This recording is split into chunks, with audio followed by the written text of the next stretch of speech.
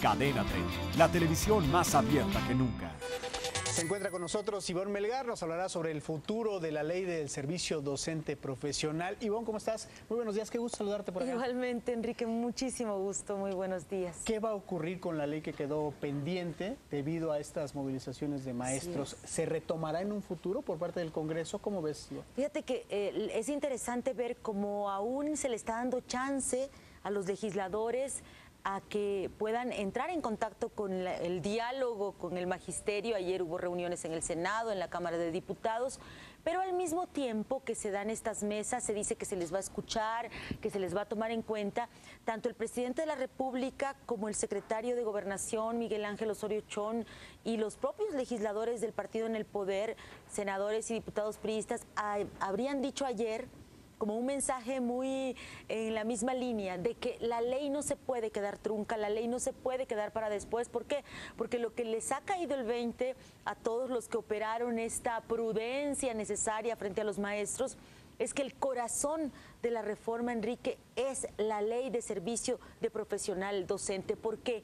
Porque esa ley es la que establece las reglas para que la evaluación, que ya es una obligación constitucional, tenga consecuencias laborales, tenga consecuencias en el sentido de que si no la pasa una primera ocasión el maestro, tenga dos años de chance para capacitarse. Si en un segundo término no lo vuelve a pasar, hay otros dos años para formarse. Si nuevamente es reprobado, hay otros dos años de gracia para volver a capacitarse. Enrique, son seis años que tiene cada docente para demostrar que es una persona con el perfil correspondiente para estar frente al aula formando a las futuras generaciones. Si seis años no son suficientes, el chance es que sea establecido en tareas administrativas. Además, eh, no es una es una obligación para los maestros estar, estar preparados con las nuevas tecnologías, con los nuevos conocimientos que hay en el mundo. Por supuesto. O sea, ya no, no pueden enseñar con los conocimientos que tenían hasta hace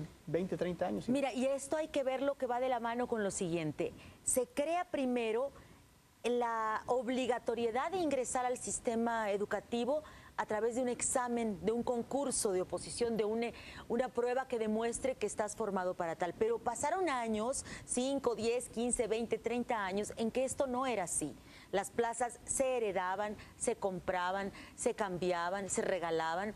Y parte de las protestas de los maestros que hoy vemos en las calles es que quisieran seguir teniendo estos usos y costumbres que le dieron estabilidad y garantía a sus familiares. Pero entonces, si hay ahora esa facilidad, esa obligación de que demuestres que eres capaz, para los que antes entraron por la vía del cochupo, de la corrupción, de la herencia, para ellos es esta prueba, para que paulatinamente se depure, pero sobre todo se formen, se capaciten aquellos que entraron pues por la vía de los hechos sin estar preparados para ser maestros. Ahora, hace unos días eh, habría dicho el propio Manufero Beltrones, coordinador de los diputados del PRI, que la reforma iba completa, que no podía ir coja, por decirlo así, le faltaba una pata a la, mesa.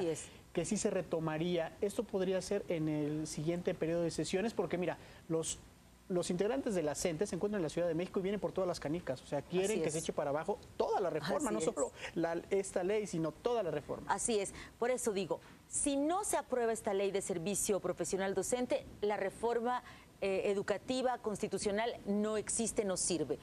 ¿Qué falta por hacer? Creo que atender las lecciones de lo que pasó los pasados días, mi querido Enrique, y es, los gobernadores tienen que hacer su parte. Los gobernadores, muchos de ellos ya se señalan mucho, ya al gobernador de Oaxaca, Gabino Cue, han estado financiando estas movilizaciones o haciéndose de la vista gorda frente a la irresponsabilidad del magisterio y a su falta de estar atendiendo en las aulas. Los gobernadores tienen que hacer su parte y también se tiene que definir hasta cuándo llega este límite del que hablaba el secretario de Gobernación para pues frenar este tipo de protestas que bien tienen legitimidad porque son protestas sociales, pero que no pueden seguir afectando a terceros. Ya olvídate de la calle, de los capitalinos, de los niños que no tienen clases. En varios estados de la República. Finalmente, eh, Ivonne, viene, la, la CENTE ha dicho que se va a quedar durante estos días y habrá protesta seguramente el 1 de septiembre, día del informe presidencial.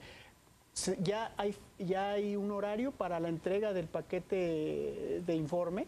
Oficialmente aún no, Aún no, sabemos que el presidente va a dar su informe, su mensaje en Campo Marte a las 11 de la mañana, ¿no? Y luego viaja a Turquía.